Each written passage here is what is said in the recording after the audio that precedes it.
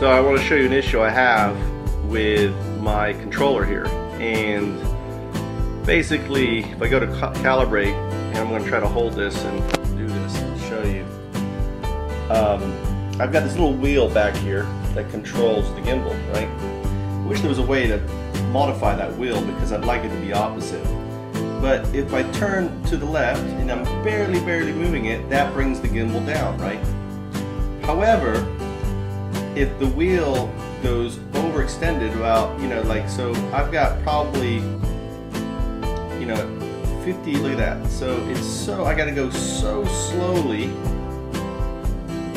and I still have probably, you know, I'm only at 50, 60% of the wheel turn, and if I extend it, look, I get this error. Um, if I go to the right, I don't have that problem.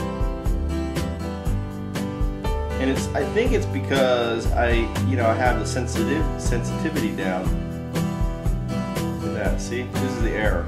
Now, I've reinstalled Go. I think the, the problem is actually the firmware has been corrupted. I've been using map, uh, Maps Made Easy so I want to show you this too. Why do I have this nap? I mean, I did have tape on here, and the tape has kind of made this dirty. Get some alcohol clean that off.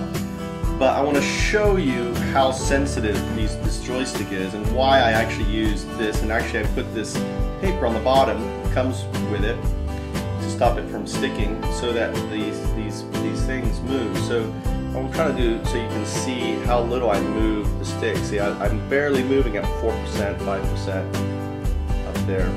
Okay, got a little battery on my iPad. Again, going up, pushing up a 6, 7. And I'm barely looking at Look at how, how little I'm moving it, right? So what this does is it gives you significant more control over the, over the flight.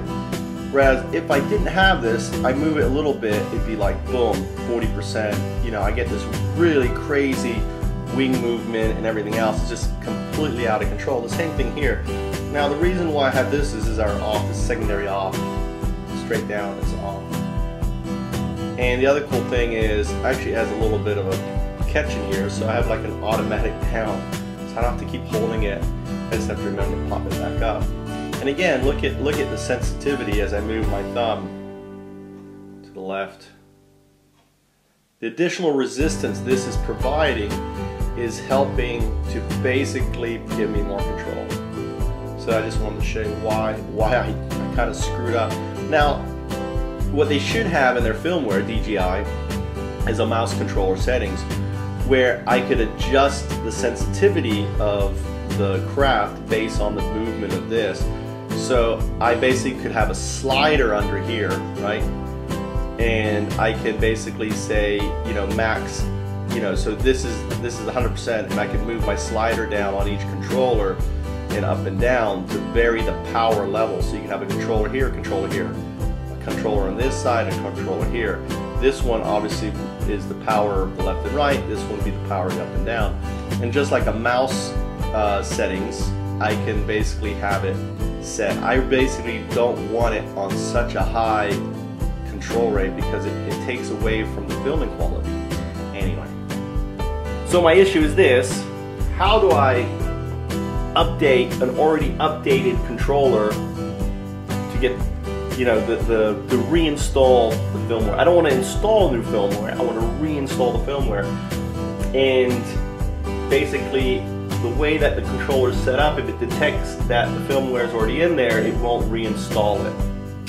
So that's a problem. I don't know if there is actually a setting to wipe this out. I don't see a setting or button on here or anything. I don't know if there's a mechanism, like a double, if I, if I have this open and I do a double squeeze and hold, right, maybe if I do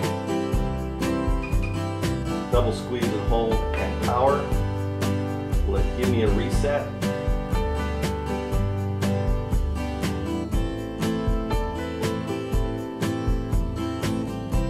It's not. I do a left and power, a reset. So I'm basically pressing the different buttons here, trying to get a reset coming up. I do a power at home, trying to do it.